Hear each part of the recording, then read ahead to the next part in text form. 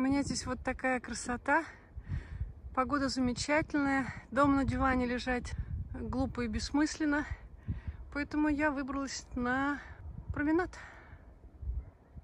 Тропа, конечно, сырая и грязная. Я думаю, пройду сколько смогу. И, в принципе, не обязательно добраться до Айори.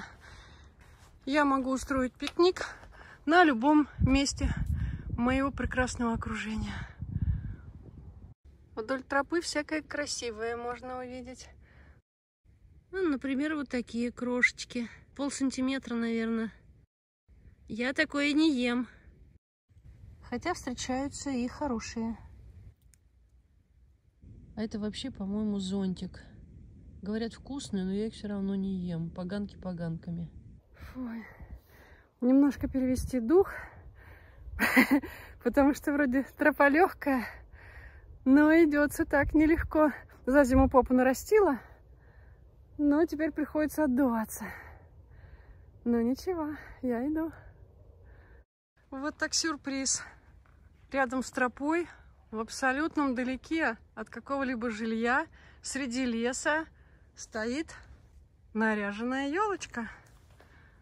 Вот такие креативные туристы, видимо, здесь устроили встречу Нового года. Ну, это очень забавно. Ну, сегодня вообще-то Рождество, сегодня 7 января. Восхитительная елочка. Да, он на фоне горы, это Четвердак там вдали виднеется. Спасибо за такой сюрприз. Иду дальше. Господи, это что такое? Кабаны, что ли, рылись? Еще не хватало мне. Надеюсь, что я их не встречу. Я их вообще-то боюсь. Так, какашечки косули. Что? Да это же нижняя челюсть самого что ни на есть дикого кабана. Кабана! Какой ужас! Вот это я находочку сделала. Пойду-ка я отсюда.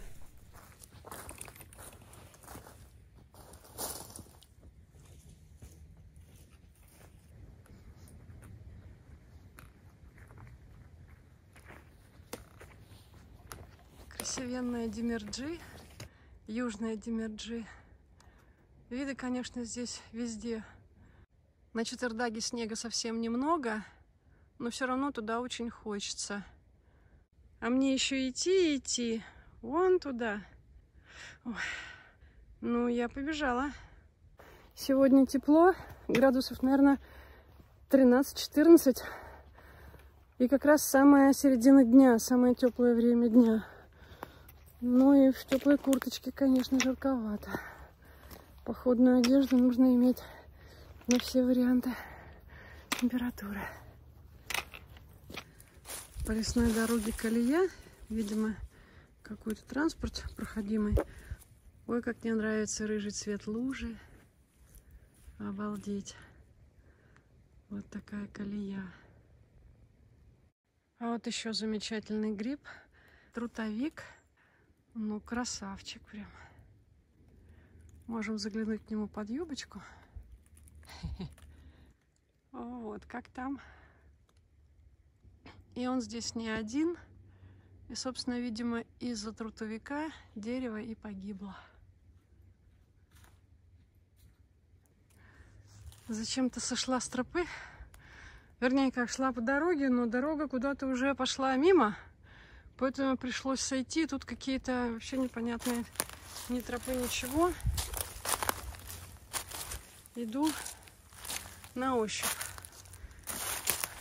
В принципе, где источник я знаю, но тут через гору надо какую-то лезть.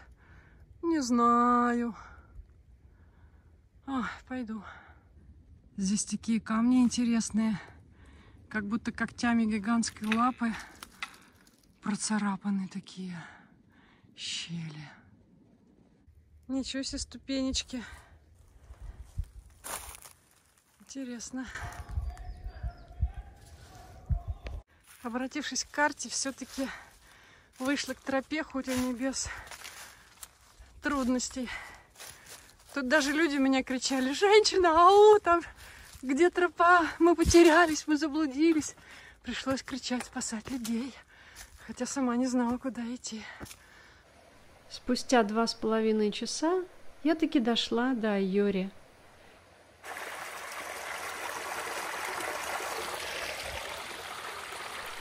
Сделаю привал, отдохну и подкреплюсь. Я уже успела проголодаться. Я не из тех, кто носит пухлые неподъемные рюкзаки и стараюсь обойтись минимумом. И вот что есть.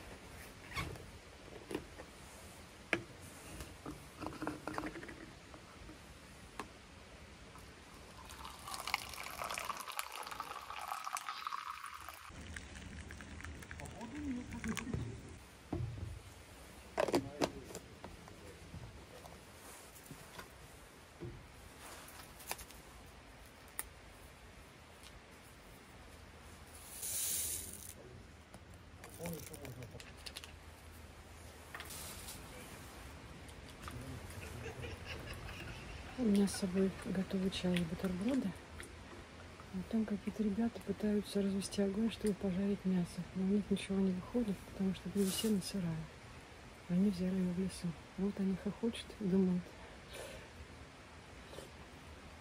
Ой, какой чай вкусный, с травами. А я молодец. Я взяла с собой бутерброд. Два. И я их съем, потому что в лесу это вкусно.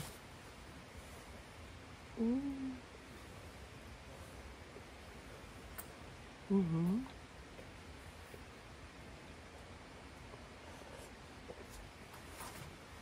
Не зря я термос тащила.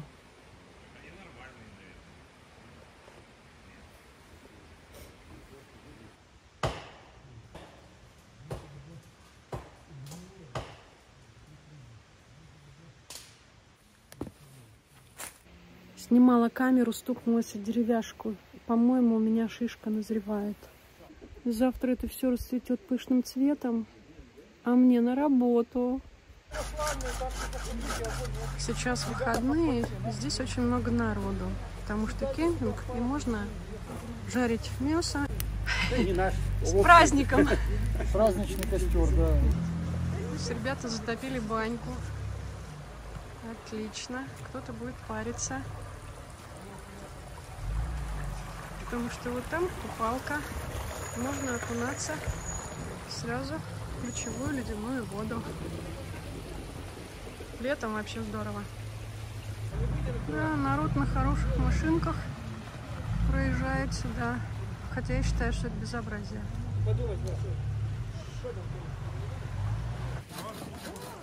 Первый раз вообще вижу столько людей на Юре и столько машин, которые спустились бесстрашно по крутому спуску. Все хотят праздник. А я наберу водички и в обратный путь.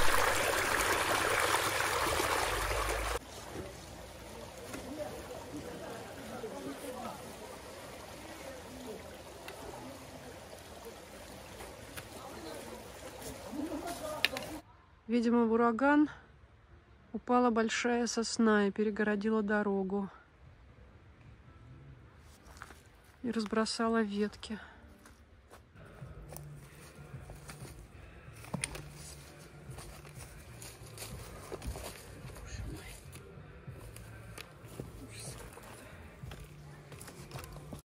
И, конечно, я зайду на вершину Айори, потому что Айори это не только источник, но и вершины.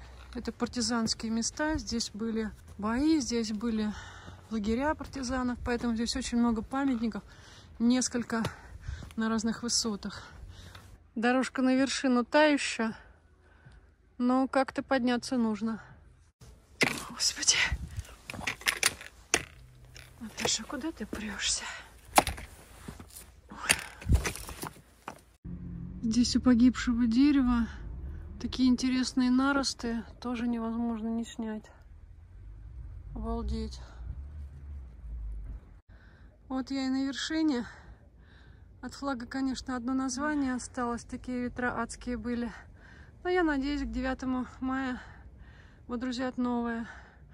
Полотнища на вершинах долго не живут.